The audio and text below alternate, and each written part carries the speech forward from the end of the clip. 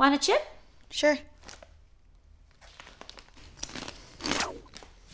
Are you gonna shower today? Why? Because it's part of being a functioning adult? According to who? Society? Yeah, patriarchal society. Everyone knows that. Hey, have you seen my black bra? Which one? The black one. Oh my god. What? Roxane Gay just followed me on Twitter.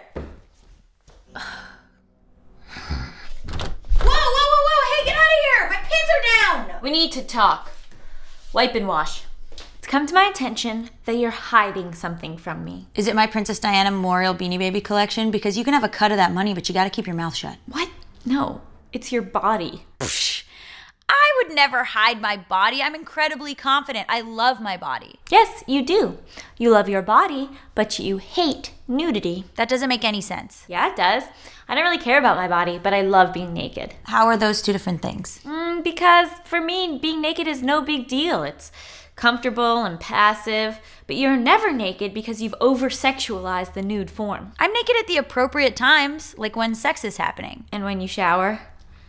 Do you ever shower? I don't see the problem, Allison. I've honestly stopped noticing that you're naked all the time. And wasn't the point of you parading around with your butt out to desexualize yourself to me with naked chores? Mm, it's a good theory, but my nudity actually has nothing to do with you. I don't follow. Everything has to do with me. Look, I like to be naked, and I don't want to treat you any differently just because you're queer. Why did you put queer in air quotes? Oh my god, I don't know. I'm, I'm so sorry.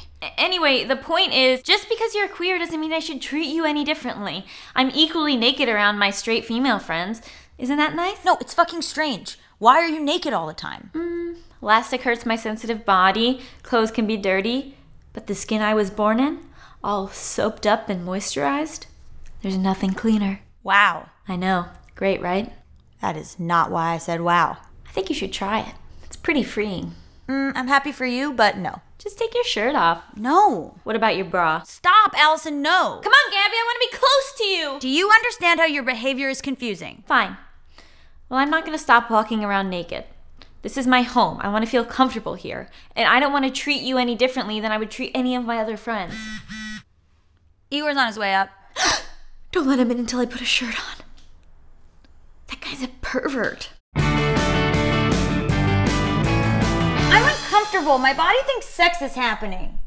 Here's what'll make it better go down the hall, turn left, open the sliding glass door, turn on the water. Hey, this is showering. I was so close. I can smell you from here. You stink like garbage. You smell like sugar after she's had the farts.